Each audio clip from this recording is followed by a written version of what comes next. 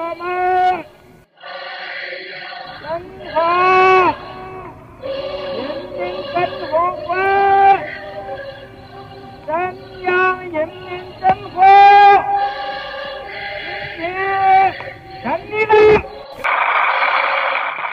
批判梁漱溟的反动思想。一九五三年九月十六日至十八日，一梁漱溟先生是不是有骨气的人？他在和平谈判中演了什么角色？梁先生自称是有骨气的人，香港的反动报纸也说梁先生是大陆上最有骨气的人，台湾的广播也对你大捧。你究竟有没有骨气？如果你是一个有骨气的人，那就把你的历史过去怎样反共反人民，怎样用笔杆子杀人，跟韩复渠、张东荪、陈立夫、张群究竟是什么关系，向大家交代交代嘛。他们都是你的密切朋友，我就没有这么多朋友。他们那样高兴你骂我是土匪，称你是先生，我就怀疑你这个人是那一党那一派。不仅我怀疑，还有许多人怀疑。从周总理刚才的发言中，大家可以看出，在我们同国民党两次和平谈判的紧要关头，梁先生的立场是完全帮助蒋介石的。蒋介石同意和平谈判是假的。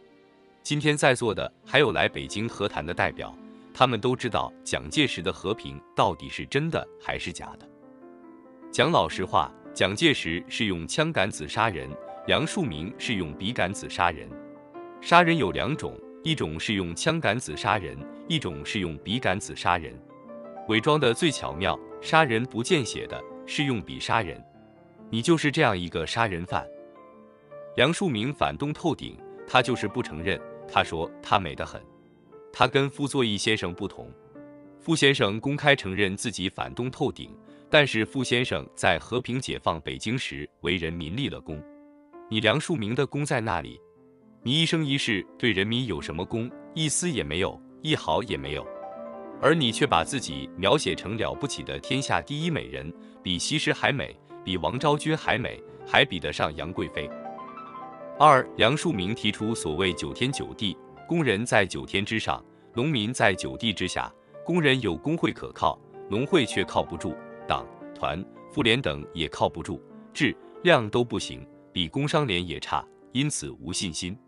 这是赞成总路线吗？否，完全的、彻底的反动思想，这是反动化的建议，不是合理化建议。人民政府是否能采纳这种建议呢？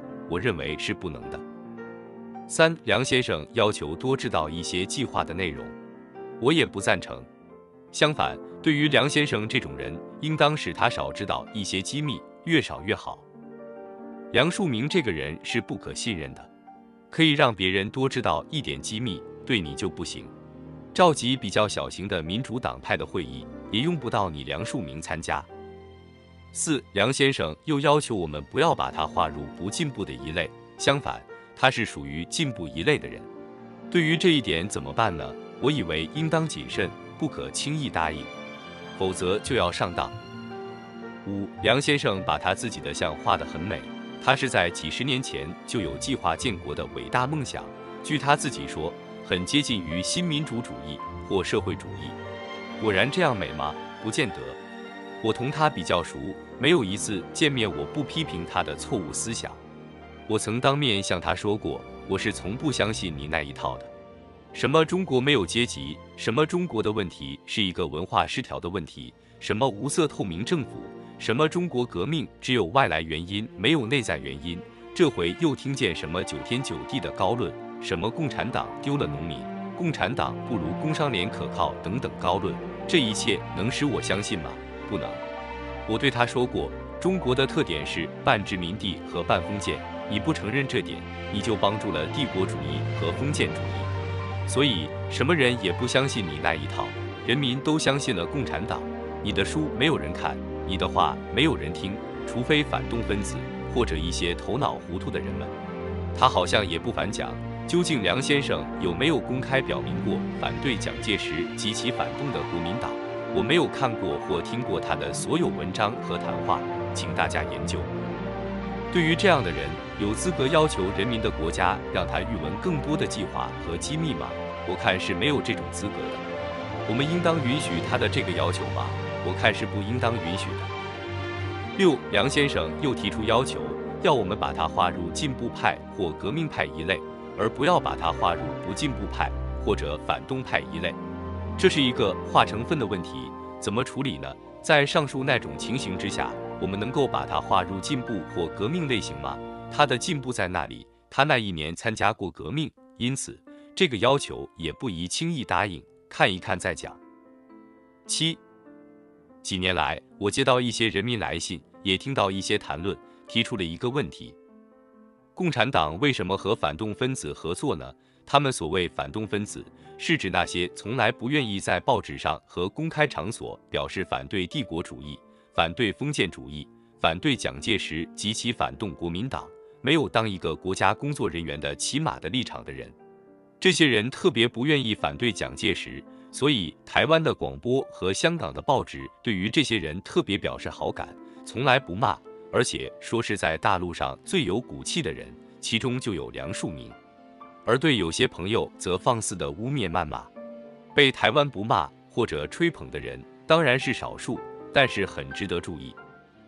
有一些人直到现在反对帝国主义的话，他还可以说；反对蒋介石的话，死也不肯说出来，在报纸上。在公开的言论中，他就不敢讲过去，对于过去还有一面之情。这样的人，我看相当有几个。爱国主义有三种，一种是真爱国主义，一种是假爱国主义，一种是半真半假、动摇的爱国主义。个人心中有数，梁漱溟的心中也是有数的。真正同帝国主义和台湾方面断绝关系的，不管他怎样落后，我们也欢迎。这一类是真爱国主义。假爱国主义外面装的那么隐蔽，里头是另一套。还有一种是动摇分子，半真半假，看事办事。如果第三次世界大战不打，蒋介石不来，那么就跟共产党走下去；如果第三次世界大战打起来，他就另打主意。多数人是那一种呢？多数人是真爱国主义。几年来，真爱国主义多了起来，半真半假的有一小部分。假爱国主义是很少的，但是有。这个分析究竟恰当不恰当，大家可以研究。八，我认为梁漱溟应当做一件工作，这件工作不是由他代表农民向人民政府呼吁解放，而是由他交代清楚他的反人民的反动思想的历史发展过程。他过去是怎样代表地主反共反人民的，现在又如何由代表地主的立场转到代表农民的立场上来了？他能说明这个变化过程，并使人们信服，那时方能确定究竟应当把它归入哪一类。他给我的印象是，他是从来不考虑改变他的反动立场的。但我建议，为着治病救人，应当给他一个反省的时间，并把这件事移交给政协去做。此次不做结论。九，羞恶之心，人皆有之，人不害羞，事情就难办了。说梁先生对于农民问题的见解比共产党还高明，有谁相信呢？班门弄斧。比如说毛泽东比梅兰芳先生还会做戏，比志愿军还会挖坑道，或者说比空军英雄赵宝同还会驾飞机，这岂不是不识羞耻到了极点吗？所以梁先生提出的问题是一个正经的问题，又是一个不正经的问题，很有些滑稽意味。他说他比共产党更能代表农民。难道还不滑稽吗？出了这么多的农民代表，究竟是代表谁呢？是不是代表农民的呢？我看不像，农民看也不像。他们是代表地主阶级的，是帮地主阶级忙的。其中最突出的、花言巧语的，实际上帮助敌人的是梁漱溟。其他有些人是思想糊涂，说了一些糊涂话，但他们还是爱国主义者，他们的心还是为了中国，这是一类。梁漱溟是另一类，还有跟梁漱溟差不多的人冒充农民代表，冒充的事实际上是有的，现在就碰到了。那些人有狐狸尾巴，大家会看得出来的。孙猴子七十二变有一个困难，就是尾巴不好变，他变成一座庙，把尾巴变作旗杆，结果被杨二郎看出来了。从什么地方看出来的呢？就是从那个尾巴上看出来的。实际上有这样一类人。不管他怎样伪装，他的尾巴是藏不住的。梁漱溟是野心家，是伪君子。他不问政治是假的，不想做官也是假的。他搞所谓乡村建设，有什么乡村建设呀？是地主建设，是乡村破坏，是国家灭亡。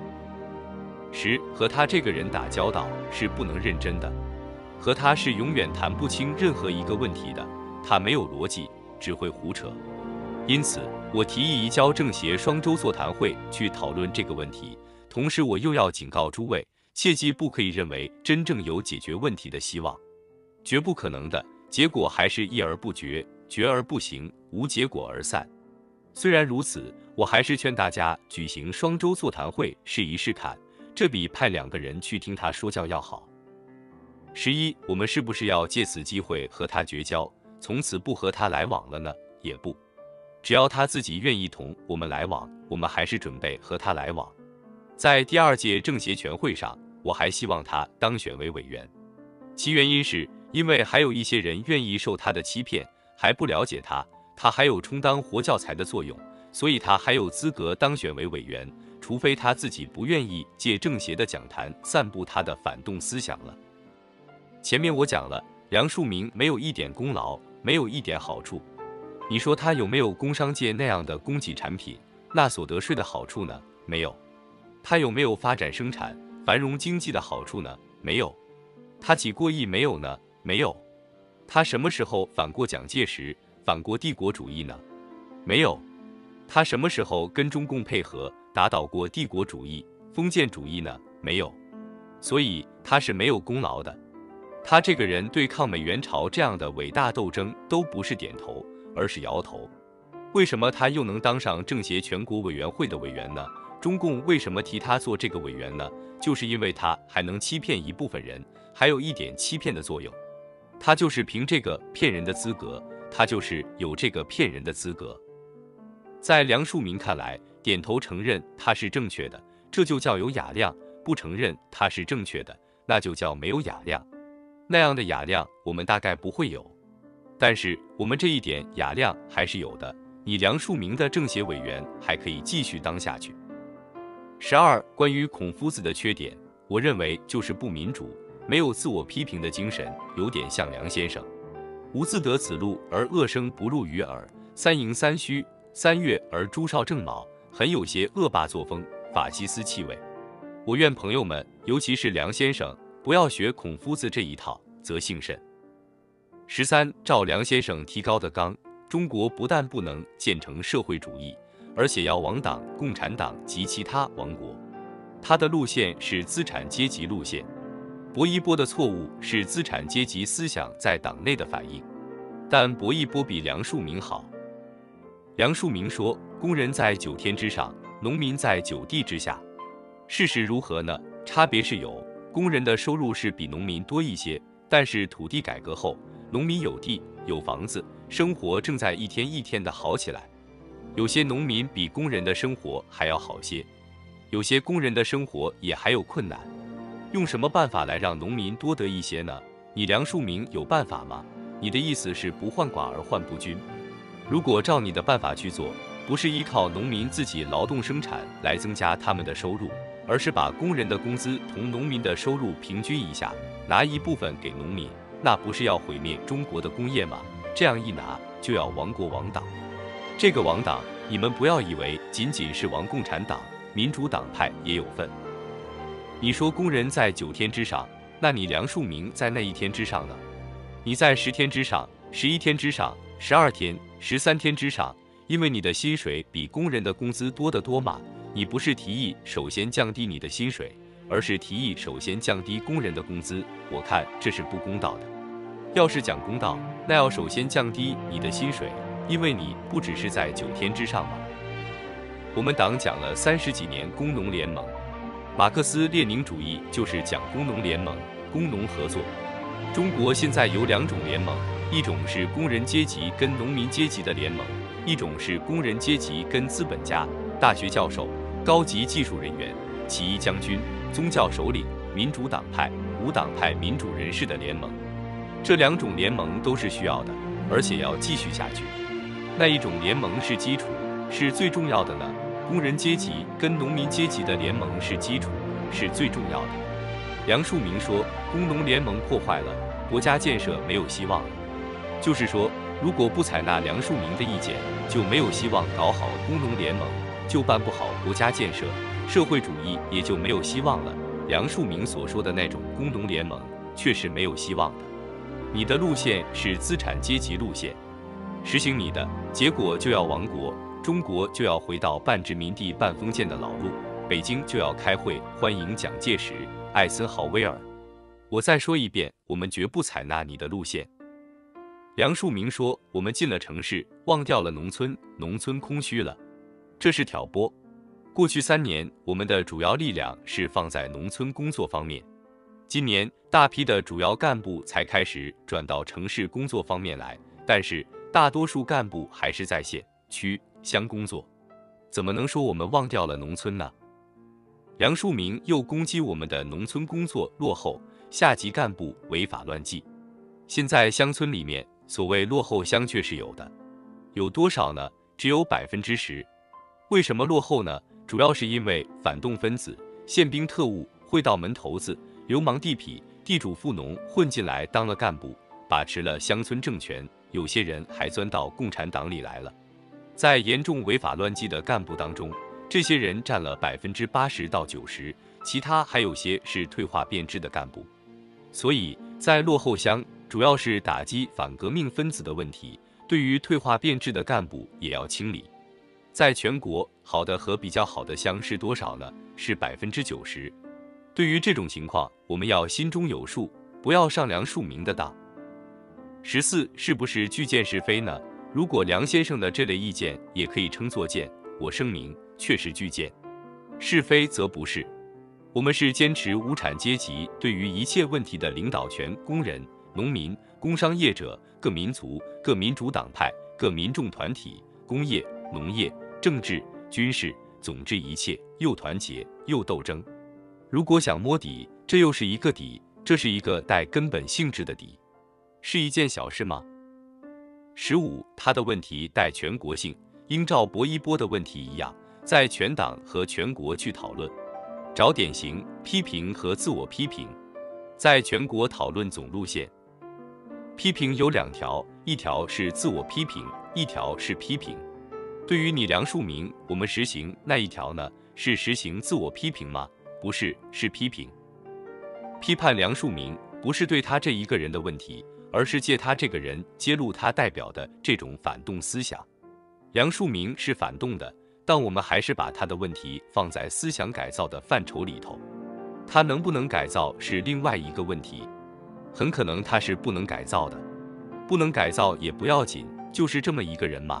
但是同他辩论是有益处的，不要以为是小题大做，不值得辩论。跟他辩论可以把问题搞清楚。要说他有什么好处，就是有这么一个好处。现在辩论的是什么问题呢？不就是总路线的问题吗？把这个问题搞清楚，对我们大家是有益处的。